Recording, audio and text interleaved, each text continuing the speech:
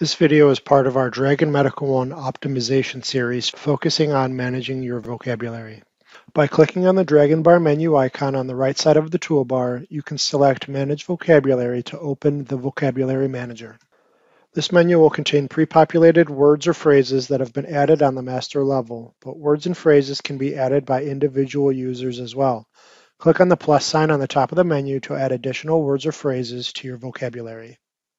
Type whatever name or term you wish to add into the box and then select Default Pronunciation. If the word is not pronounced phonetically, you can select the microphone icon to train Dragon to learn the correct pronunciation. Dictate the word once the icon turns green.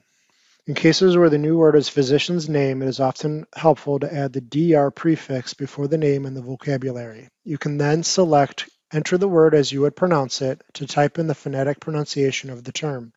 In cases such as this where there is an abbreviation, it is helpful to type out the full word doctor. Then click Save to add that term to your vocabulary list.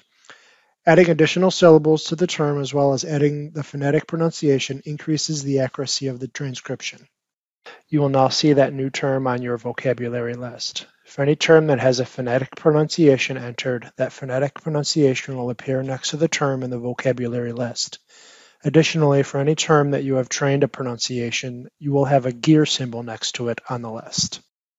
For any term that is already on the list, you can click the term to highlight it. Click Edit to modify the word or add phonetics, click Train to add pronunciation, or click the trash can to delete it from your list.